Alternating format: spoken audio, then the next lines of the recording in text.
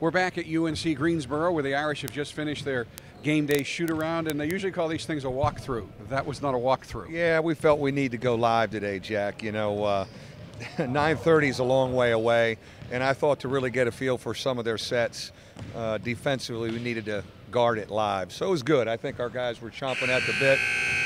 We uh, we haven't been in the gym since yesterday morning, so just to get out of the hotel a little.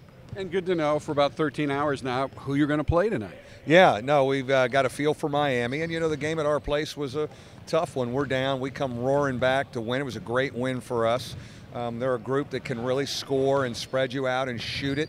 So uh, they're going to drive us, they're going to spread us. We've got to limit paint touches with their guys off the dribble. We've got to keep people in front of us because when they break you down, then they get those open looks from the three point line. And you mentioned to your guys in the scout, you're really happy with the rhythm this team's been in offensively the last couple of games. What do you need to do to maintain that? Well, I just like to kind of keep on going. I don't want to overanalyze it or overcoach our offense right now. I think starting with the Louisville game, we have been a really nice flow, a confident flow. We're scoring almost 40 points in a half, the first half of the last two games. So that means you get out of the gate well. It's always good to get off to a good start.